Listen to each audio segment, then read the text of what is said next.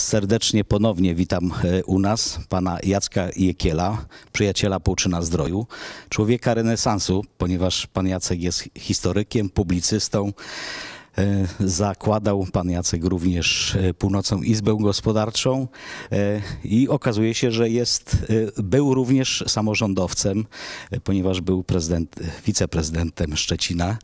Jest nam niezmiernie miło, bo pamiętam jak dwa lata temu, tak? Dwa lata temu to było? 19, tak. W 2019 roku w maju mieliśmy tu piękne uroczystości związane e, z naszą wybitną e, artystą e, Stanisławem Muniuszką. E, Dzięki między innymi aspiracji pana Jacka nasz amfiteatr nosi jego imię. Ta historia, o której chcę dzisiaj opowiedzieć, to historia o człowieku niezwykłym, a kompletnie zapomnianym. Wacław Jędrzejewicz pisze, że to było jedno z najbardziej tajemniczych i najważniejszych spotkań, które odbył Piłsudski tego dnia. Spotkał się mianowicie z dezerterem armii niemieckiej, poznaniakiem, e, wówczas e, dwudziestoletnim e, Józefem Jęczkowiakiem. Józefem Gabrielem Jęczkowiakiem. Jak to jest możliwe, że Gefreiter armii niemieckiej, który zdezerterował, mógł się spotkać z najwyższym stopniem e, e, dowódcą mm, sił zbrojnych polskich, nazwijmy to tak umownie oczywiście Armii Polskiej, w sensie takim sensu stricto nie było, ona będzie tworzona za moment, ale, ale tych wszystkich formacji takich legionowych, które znamy z I wojny światowej było dużo i oczywiście Piłsudski był tutaj najważniejszą osobą. Dosłużył się stopnia brygadiera. To jest taki młodszy generał, powiedzielibyśmy. W polskiej armii nie ma takiego tytułu, ale takiego stopnia. Mm, Więc brygadier Piłsudski y, miałby się spotkać ze starszym szeregowym y, dezerterem armii niemieckiej. No, sorry, takie rzeczy się nie zdarzają. Oczywiście to spotkanie zostało przygotowane. To spotkanie zostało przygotowane przez y, wywiad Polskiej Organizacji Wojskowej. POW miała swój wywiad taki za, zarówno wewnętrzny, jak i zewnętrzny. I mm, ten, y, ta struktura uznała, że to, co im powiedział Jęczkowiak, ja za moment powiem, co im powiedział, jest na tyle intrygujące, że warto się spotkać.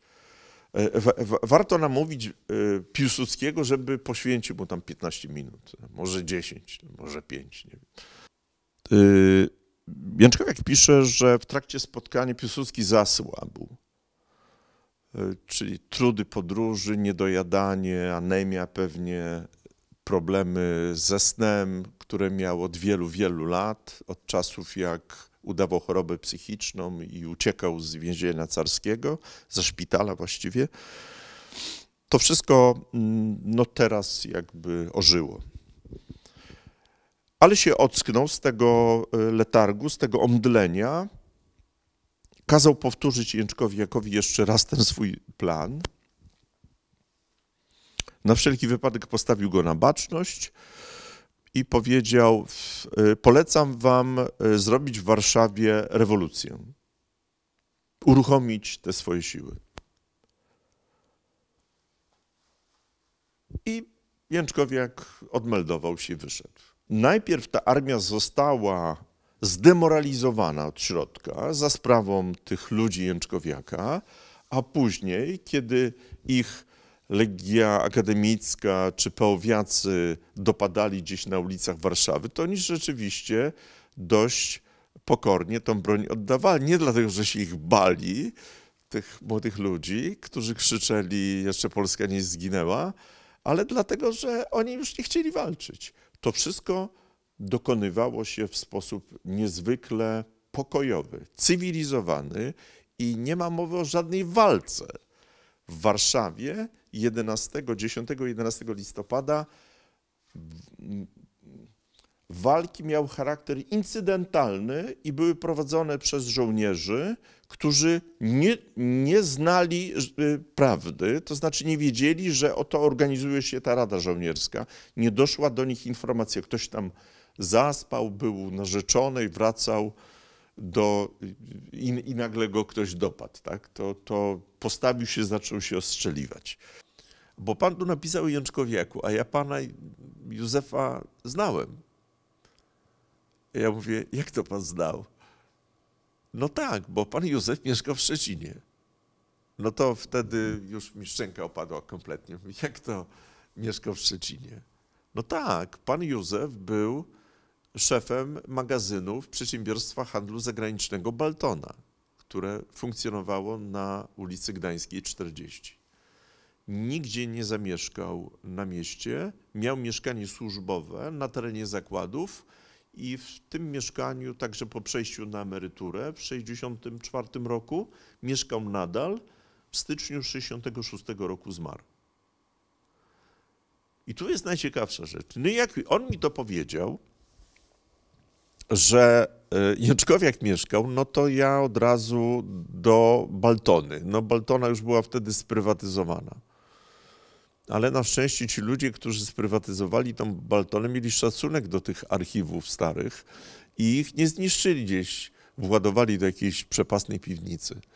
Więc te miłe panie z kadr, kiedy je poprosiłem, żeby przejrzały te archiwalia z tych lat, i one znalazły teczkę osobową Jęczkowiaka. Ja mówię, słuchajcie, nie przysyłajcie, bo to cenne, zeskanujcie każdą karteczkę i proszę mailem. One grzecznie wszystko zrobiły to, co prosiłem. Już wtedy wiedziałem o wspomnieniach w archiwum, które się znajdowały. Razem z Pawłem Gutem, profesorem Pawłem Gutem postanowiliśmy opublikować te wspomnienia. Ja tam w tych wspomnieniach napisałem biogram Jęczkowiaka, ale y, przygotowując się do tego, natrafiłem na rodzinę. Tak krok po kroku jakby on jest pochowany, mimo że zmarł w Szczecinie, pochowany jest na y, mm, w Istominie, na takim miejskim cmentarzu w Gdyni, Jęczkowiek. A y, z tego cmentarza z kolei został ekshumowany całkiem niedawno i jego ciało zostało przeniesione do grobu, w którym leży jego żona y, w Poznaniu. Więc jakby krążył tak jak, jak, jak Pewnie nie on jeden. Losy Polaków takie są trochę pokręcone w XX wieku. E,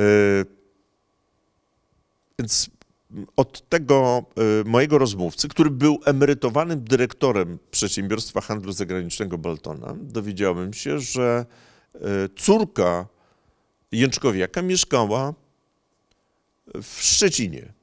Więc zacząłem szukać jakichś informacji, ponieważ byłem krótko, ale jednak wiceprezydentem Szczecina, to miałem jeszcze dobre kontakty, no to wtedy nie było RODO, więc można było takie rzeczy robić. Poprosiłem, żeby przejrzeli tam.